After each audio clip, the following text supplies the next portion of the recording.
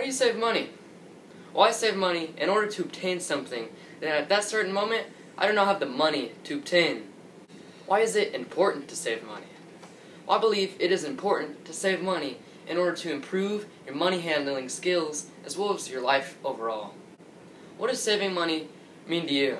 Well, to me, saving money means to have self control as well as make smarter decisions.